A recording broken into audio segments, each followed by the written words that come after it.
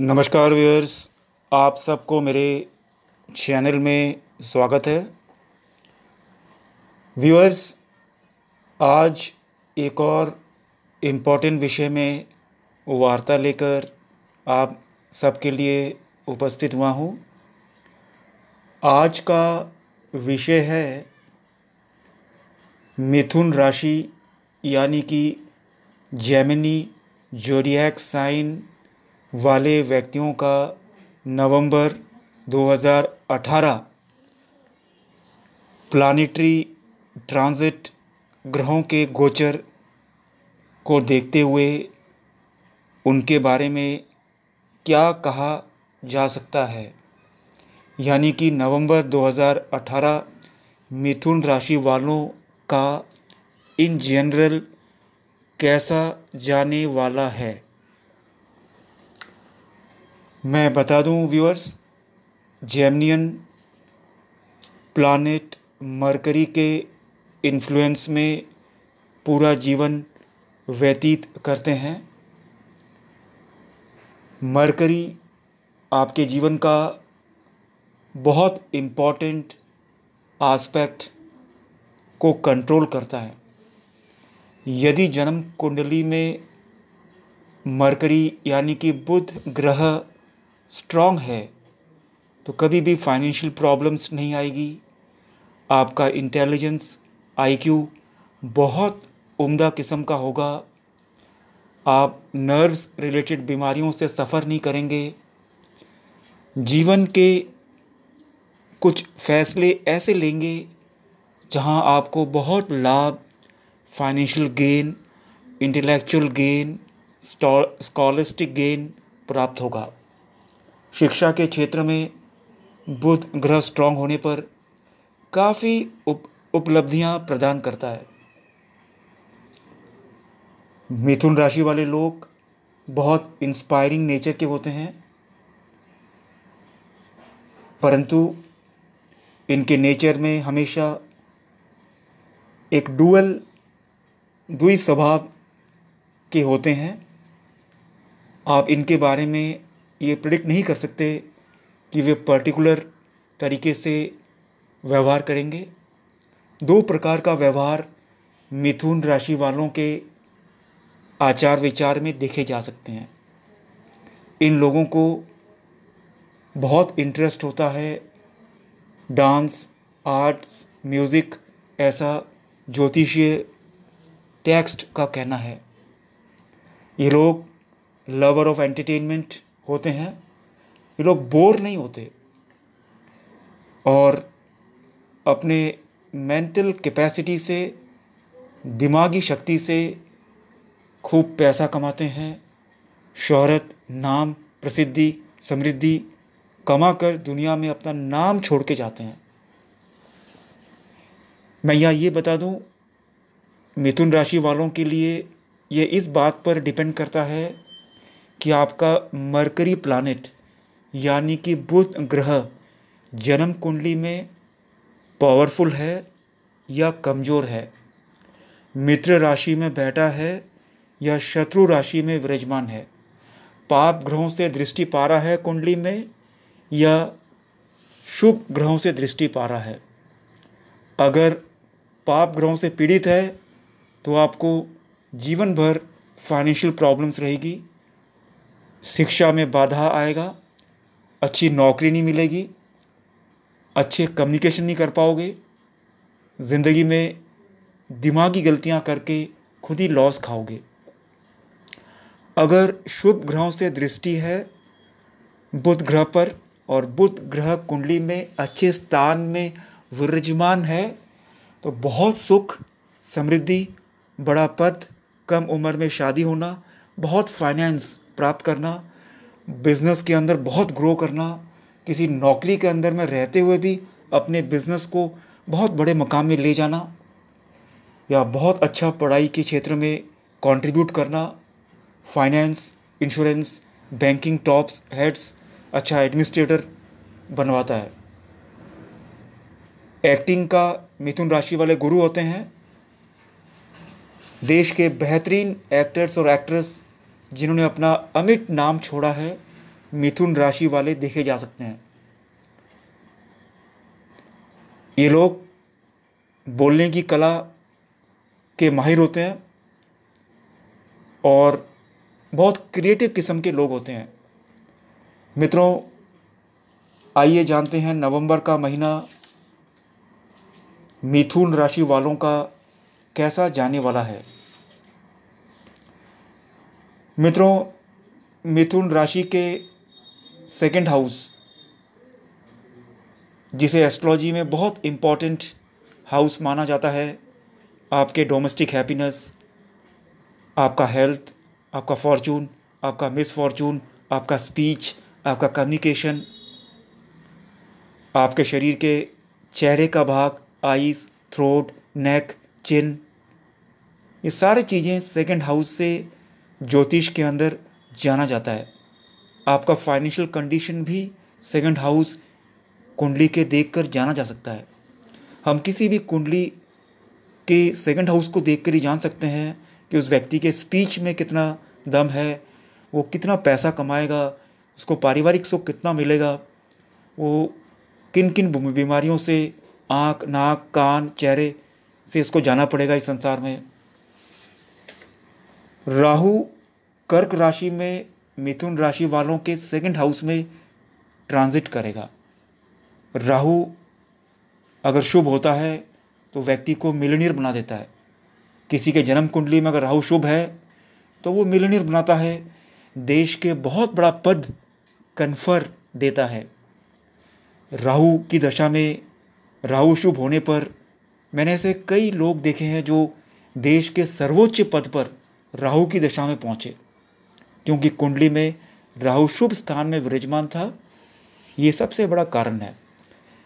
मिथुन राशि वालों के धन भाव में करका फॉर स्पीच सेकंड हाउस द्वितीय भाव में राहु का होना, चंद्रमा के घर में और चंद्रमा का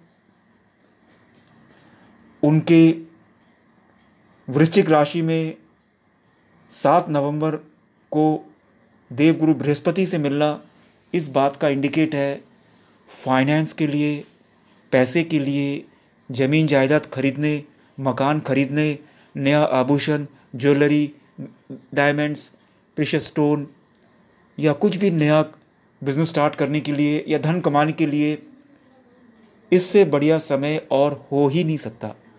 राहु फॉरेन कंट्री से भी पैसा देता है, विदेशों से पैसा देता है, दूर प्रांत से पैसा देता है। राहु के कारण आपके स्पीच में डिप्लोमेसी आ जाएगी। और राहु के कारण मैं समझता हूँ कि ये मिथुन राशि वालों का भाग्य उदय होने का भी योग है राहु की पोजीशन को देखकर। राहु के कारण कुछ बुरे लोग भी संपर्क में आएँगे और लॉस देने की कोशिश करेंगे। राहु के कारण सेकंड हाउस में है तो आपके थोड़ा स्पीच में भी प्रॉब्लम्स क्रिएट करेगा आपके बॉस के साथ, घर परिवार में भी। थोड़ा वार्तालाप ठीक से रखिएगा। जो लोग स्टूडेंट हैं, उनको लाभ है। बिजनेसमैन को लाभ है। जो लोग नौकरी पेशे में है, उनको अपने स्पीच में ध्यान रखना है। सेकंड हाउस राहु झगड़े भी करवा सकता है। जहाँ तक धन का संबंध है, ये अचानक घटनाओं को करवाता है। फाइनेंशियल गेन के बहुत बड़ा चांसेस है। मित्रों, आगे चलते हैं मिथुन राशि वालों के पंचम हाउस फिफ्थ हाउस से हम जान सकते हैं कि व्यक्ति के पास कितना क्रिएटिव टैलेंट है पूर्व जन्म का पुण्य, उसका चिल्ड्रन उसका लक कैसा उस पर मेहरबान होगा, कितना क्रिएटिविटी है। पाँचवें भाव में शुक्र एस्ट्रोलॉजी का सबसे बड़ा राजयोग, पंच महापुरुष योग, मालवीय योग का निर्माण कर रहा है। वीनस का फिफ्थ हाउस में होना का मतलब है, आप कुछ ऐसा क्रिएटिव काम करोगे, जिससे बहुत उन्नति, पैसा जॉब में प्रमोशन बिज़नेस का एक्सपांशन कोई बड़ा appointment administrative judicial bureaucratic banking finance law या विदेश यात्रा, या एंगेजमेंट हो जाना, या शादी हो जाना, या लव अफेयर्स हो जाना फिफ्थ हाउस का संबंध लव अफेयर से भी है। या शिक्षा के क्षेत्र में कोई achievement research scientist scholastic achievement कोई इंटेलेक्चुअल अचीवमेंट या कोई अवार्ड्स मिलना। पाँचवें घर में राजयोग मिथुन राशि का बहुत शुभ, बहुत मंगल और बहुत समृद्धि को इंडिकेट करता है। मित्रों, आगे चलते हैं। छठा भाव एस्ट्रोलॉजी में ऋण डेप्ट का होता है, बीमारी का होता है। छठे भाव में सूर्य और बुध सन एंड मरकरी एक वृश्चिक राशि में विराजमान होकर नवंबर के महीने में महान एस्ट्रोलॉजी का राजयोग बुद्ध आदित्य योग बनाए बनाएगा। ठीक इसी प्रकार देवगुरु बृहस्पति 11 नवंबर को तुला राशि से यात्रा करके वृश्चिक राशि में प्रवेश करेंगे और चंद्रमा के साथ 7 नवंबर को वृश्चिक राशि में टकराएँगे। और एक कॉम्बिनेशन जो बहुत लकी बहुत फॉर्चुनेट गजकेसरी योग का निर्माण करेंगे। यानी कि मिथुन राशि वालों के छठे भाव में बुद्धादित्य योग और गजकेसरी योग नवंबर के महीने में रहेगा। यानी कि आपने पुराना ऋण लिया हो, कोई मॉडगेज लिया हो, या आपके हेल्थ की प्रॉब्लम्स चल रही है, तमाम चीज़ों से मुक्ति मिलेगी, स्वास्थ्य में सुधार होगा, पैसे का आगमन होगा, घर में लक्ष्मी का आगमन होगा बिज़नेस का एक्सपेंशन होगा, लोगों से पुराने ऋण लेन देन सब चुकता हो जाएगा, बीमारियाँ जो चल रही है उनसे मुक्ति मिलेगा अच्छा डॉक्टर मिलेगा अच्छा हॉस्पिटल्स मिल जाएँगे, और ये राजयोग धन का भी आगमन है, छठे भाव से पुराने ऋणों से मुक्ति मतलब धन का आगमन है गजकेसरी यदि मैं आपके किसी कुंडली में देखूँ और गजकेसरी योग देखूँ, इसका मतलब साफ़ है कि वो व्यक्ति देश के बहुत बड़े पद में या तो बैंकिंग या फाइनेंस या जुडिशली या जुडिशरी या एडमिनिस्ट्रेटिव पोस्ट या ब्यूरोक्रेटिक पोस्ट में जाएगा।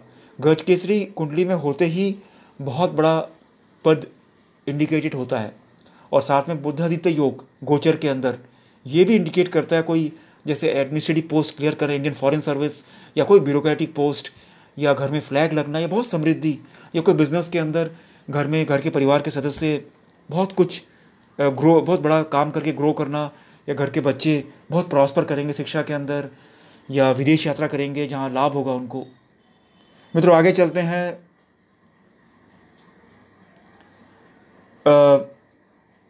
मिथुन राशि वालों के सातवें भाव में। सातवें भाव में शनि है। सातवां भाव यानी कि विवाह का भाव पति पत्नी का भाव, विवाह के सुख का भाव पार्टनरशिप का हाउस कहते हैं इसे। शनि यूँ यूँ तो बृहस्पति देवगुरु के स्थान में बैठा है, दोनों में कोई पूर्ण रूपेण फ्रेंडशिप तो नहीं कह सकता, लेकिन नुकसान नहीं करेगा।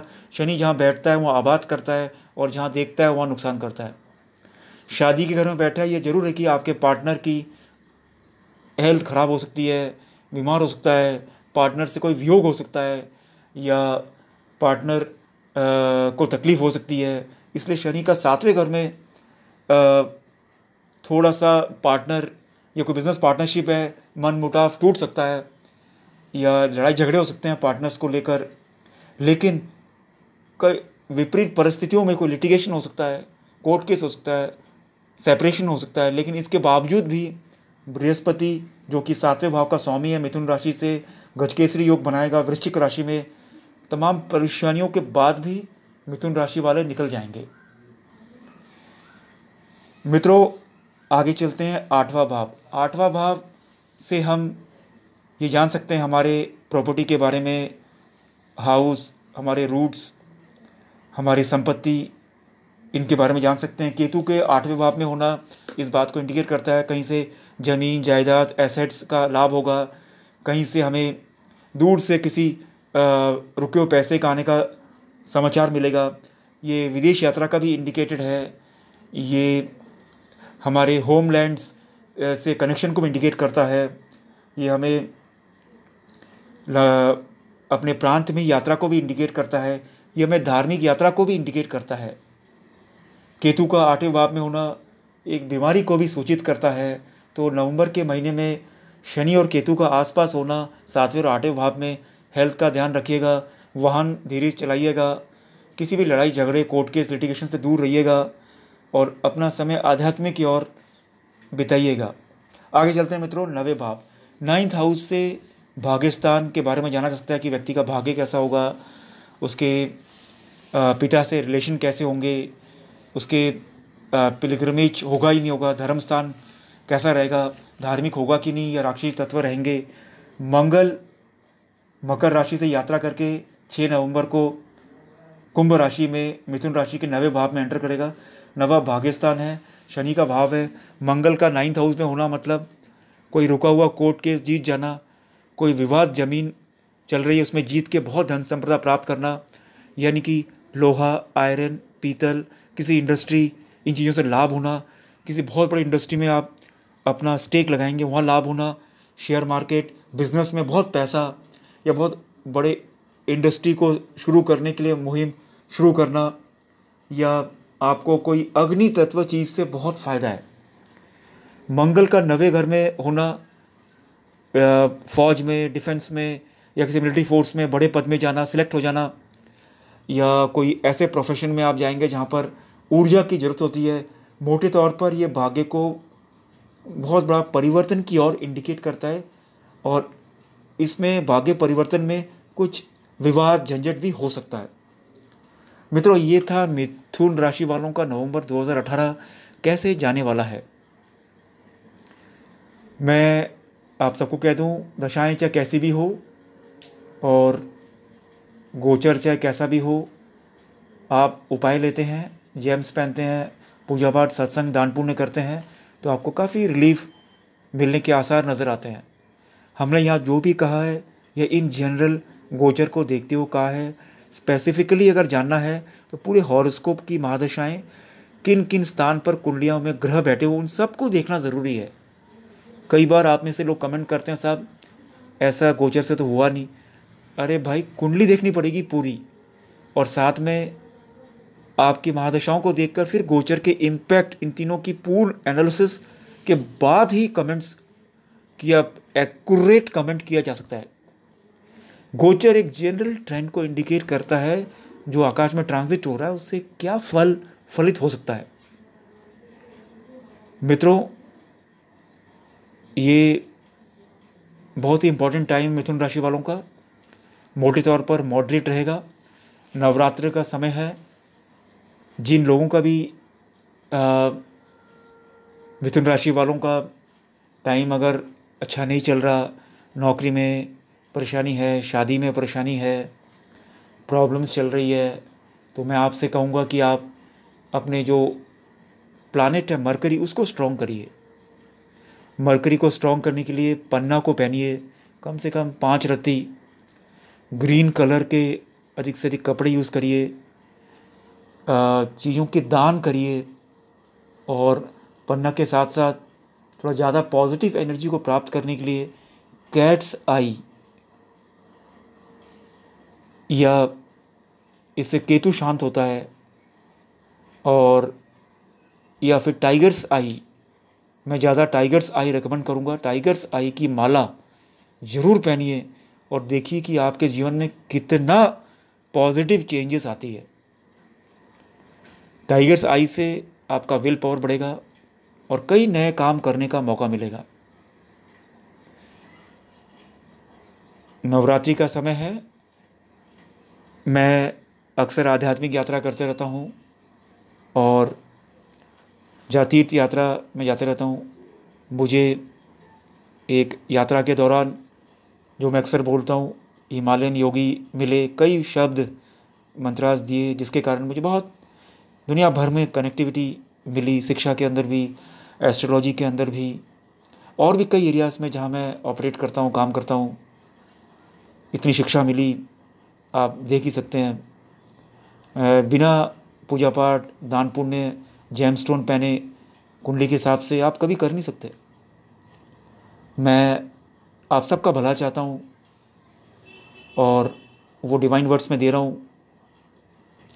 आप में से कई मुझे कुंडली भेजते हैं, मैं कई को जवाब नहीं दे पाता क्योंकि कुंडली देखने में बहुत समय लगता है। कईयों को मैं शॉर्ट जवाब देता हूँ। कई लोग जो सामर्थ्यवान है, पर्सनल भी करते हैं और जवाब मांगते हैं। अरे भाई, जवाब मांगने में कुंडली को बनाना पड़ेगा। उसमें बहुत मेहनत लगती है। लोग मेहनत का फल भी देना नहीं चाहते और रिज़ल्ट भी चाहते हैं।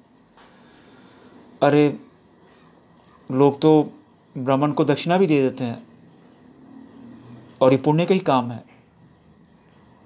तो मैं इन जनरल बोल रहा हूँ, लोग बिना कुंडली के मुझे भेजते हैं, उसको बनाना बहुत मुश्किल काम है। आप खुद बना के भेजिए पूरा डिटेल में, मैं ज़रूर उनमें से जवाब देने की कोशिश करूँगा।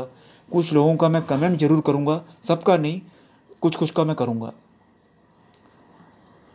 मित्रों, नवरात्रि चल रहा है, सिद्धि को प्राप्त करिए। कुंडली में ग्रह कितना भी खराब हो, साधना करिए। साधना करेंगे तो पावर मिलेगी। बिना साधना के तो हम भी नहीं बोल सकते। और पावर मिलने के बाद पैसा, बाकी चीज़ें बाई प्रोडक्ट से अपने आप आना शुरू होगी। नवरात्रि चल रहा है, मैं फिर से एक मंत्र रिपीट कर रहा हूँ। इसका अधिक से अधिक जाप 108 108 करिए। ये वाइब्रेशन माँ लक्ष्मी को प्रसन्न करेगी। और आपके जीवन में कहाँ थे और कहाँ होंगे छः महीने बाद, स्वयं देख लेना।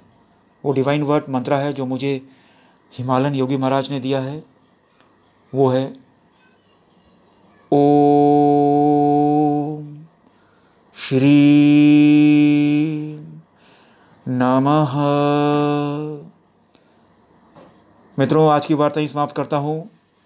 आप सबसे वापस मुलाकात होगी एक और नए वार्ता के साथ, एक और नए विषय के साथ।